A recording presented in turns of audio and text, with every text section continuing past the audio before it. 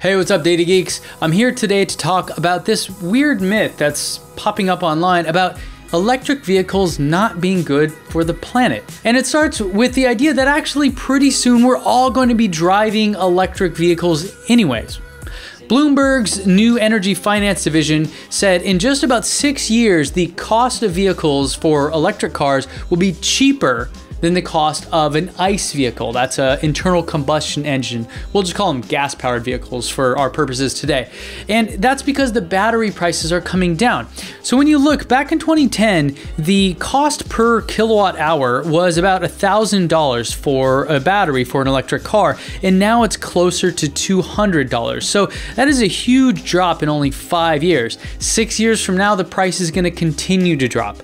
As that price drops, EV sales are shooting through the roof. Back in 2011, we had about 50,000, and back in 2015, we had 450,000. So that is a huge improvement over just that time span, not to mention the near 500,000 reservations that are out there for the Model 3 from Tesla. And this is the only time I've ever seen, and probably anyone else ever has, where people are standing in line waiting for a car. Now, this is all over the world. People are even standing in the rain, you know, toughing the storms to put in a reservation on a car that they may be able to get two years down the road. Point being, there is huge demand for electric vehicles. And as the price comes down and demand goes up, they eventually will overtake, and some estimate that by 2040, 35% of all cars in the world will be electric. That is a huge number. That is a game changer. So the electric vehicles are coming. Now, will we have the infrastructure? The report from Bloomberg actually had a good caveat there that we need a good charging infrastructure. In the US, we have close to 100,000 chargers, and back in 2011 is really when you saw the outlets and the locations start to pop up. In the EU, there's at least 72,000 chargers. Now, other parts of the world, maybe India or Latin America, it may be a bit harder because there's a lot of infrastructure that needs to come up. The next big assumption from the Bloomberg report was that the tax subsidies from every country out there that's doing this would continue. Here in the United States, it's really uncertain, and I would say in a lot of parts of the world, as the political environment has drastically shifted over some major elections that have changed the landscape for people's position and whether or not these types of subsidies will continue. Here in the US, there's a $7,500 tax credit for all new electric vehicle purchases. However, that was limited to 200,000 cars, and those are long gone. If you don't already have a Model 3 reservation or you don't have already a Bolt or some other car, chances are you're not going to get it. Now, will it continue? Will President Trump, the incoming president here in the United States, actually, you know, renew this plan? We'll see. Uh, but signs are saying dicey. Other countries, though, like Germany, may actually ban all gas powered cars as soon as 2030. But that's a bit speculative, and that's more about them reducing their overall CO2 emissions. This is one way for them to do that. So we'll see if that actually happens. Other governments, though, like the Dutch government and the Norwegian government, are talking about this. And in fact, Norway has a huge program to help people get electric vehicles. So they're extremely popular over there. If you're from Norway, let me know. I'd love to see a pic. Send it over. Even China is getting in on this. So lots of countries, big countries all over the world have huge incentives and tax subsidies for electric vehicles. If those continue to keep prices low, I would say that the electric vehicle is really going to become the more commonplace car within maybe 10 years. But does this help the planet? Well, Adam Conover, who does Adam Ruins Everything on College Humor, had a video recently about how buying an electric car isn't really all that green. But really, let's give Adam a break here. You remember when we create videos like this, like the one I'm doing now or the one he did there, there is a team of people behind this. So let's lay off the personal attacks on him, okay? You may disagree, but we need to have a discussion, and personal attacks don't help that at all. So Adam argues that the electric vehicles don't really help the planet that much. And this is a pretty common thing you hear from climate change skeptics, as well as some of the more right-wing political groups out there, including people like Prager University. The main two points that this boils down to is that making an electric vehicle is worse for the environment than a gas-powered vehicle, which is true mining all the minerals to make the batteries and all that kind of thing is worse for the environment. It does produce more CO2. And we'll look into this.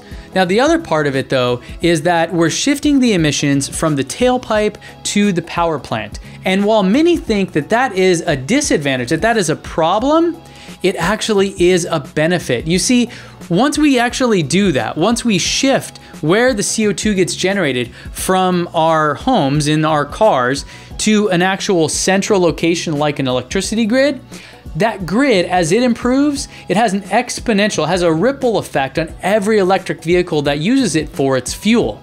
So, shifting over to the grid for your source of fuel, of transportation, instead of the gas pump is actually part of the plan because that is how we can make a dramatic change in the CO2 emissions really, really quickly.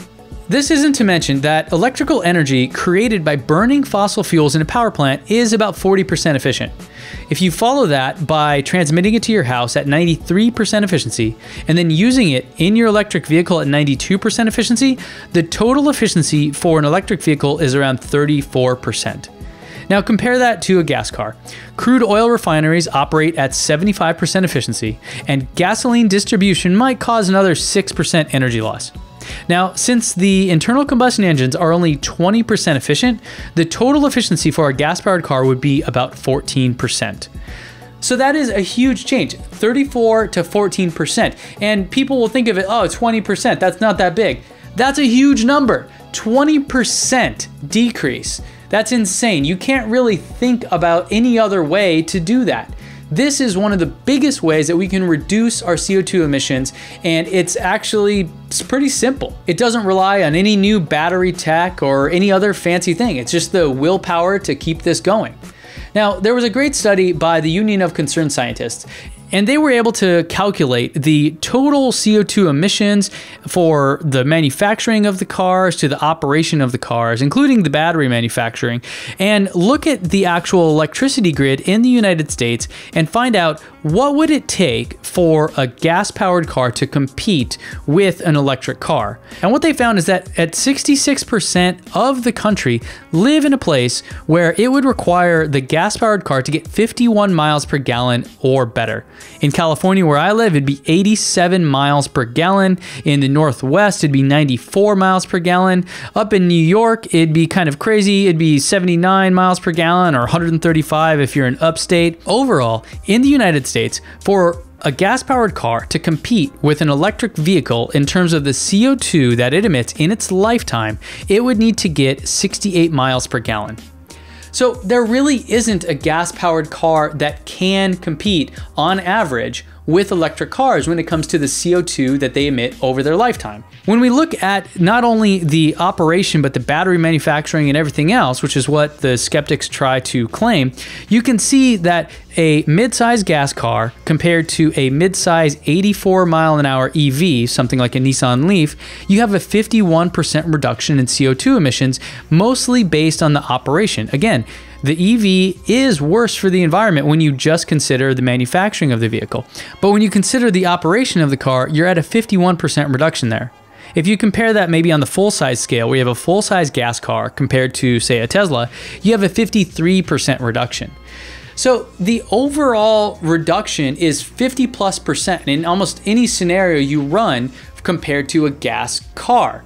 So the argument about a gas car being better for the environment in terms of the manufacturing of it, that's true. However, because the grid is continuing to get cleaner and cleaner, it actually makes the EV better and better. And this is where again I see shifting the emissions from the tailpipe to the power plant as a benefit.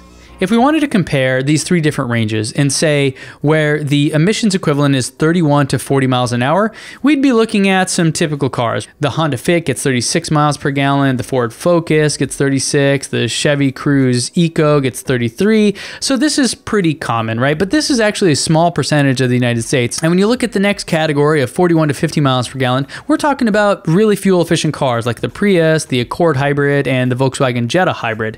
But when you come to where 60 66% of the country live, we're in that 51 plus miles per gallon range, and there is not a gasoline or diesel model out there that compares to an electric vehicle. Now, electric cars are far from perfect. And there are plenty of ways and reasons to critique them and criticize them. I mean, that's part of what I do. But let's get real here. There is no way that a gas car can really compete with an electric car on CO2 emissions over its lifetime, especially as the grid continues to get better and better. And when you look, you can see that coal is dropping, natural gas is going up, and, and that change from that low renewable grid to the high renewable grid for a mid-size EV that gets about 84 miles per charge, just that change there is a 42% reduction in the CO2 emitted over the lifespan of the car. So when you think about it, as the grid gets better, your car over its lifespan will emit less CO2. Gas cars don't work that way. There's no one way to make all of them better you have to manufacture them better and buy new ones and all that. And that's just not happening.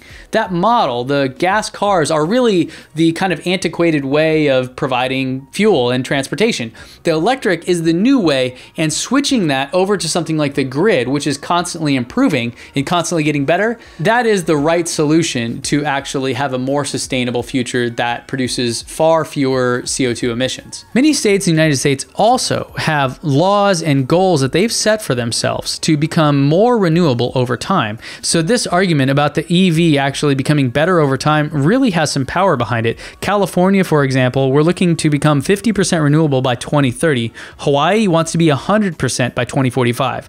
And these are big states that currently pollute a ton.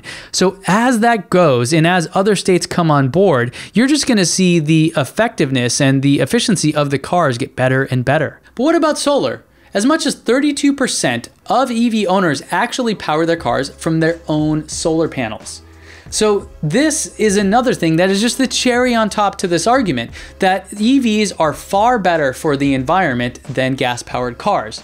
As solar becomes more prevalent and cheaper, this is really going to compound this factor where the cars will actually emit almost zero emissions after they're actually in operation, making them substantially better for the environment than a gas powered equivalent. Some cities, even like Santa Monica and San Francisco here, are regulating that all new construction come with solar. That's commercial and residential. So with all that said, I hope that you would agree that the electric vehicle today and going into the future is going to be far better for the environment by producing less and less CO2 through its lifespan. If you have an EV and you get it from solar, I'd love to hear your story. If you're on the fence about buying one, check out some of my other videos. I do a lot of comparisons to try to help you break that down. And if you're new to the Data Geek family, please subscribe. If you're already a member, go ahead and like this video down below, share it with all your friends, and leave me a comment. I'd love to have a discussion with you. Okay, lastly, remember that if you free the data, your mind will follow. Thanks again for watching, and I'll see you back here next time.